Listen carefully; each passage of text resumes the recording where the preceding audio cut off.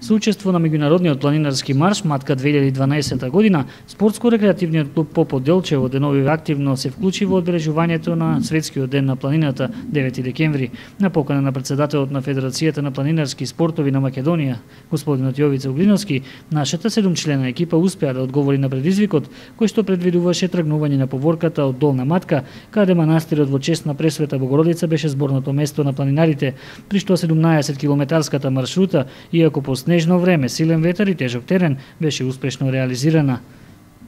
Наредниот планинарски марш, последен во рамки на годишната програма на спортско-рекреативниот клуб Поподелчево, ќе се одвива по патеките на врвот Петлец во чест на 106 годишнината од смртта на револуционерот Даме Груев.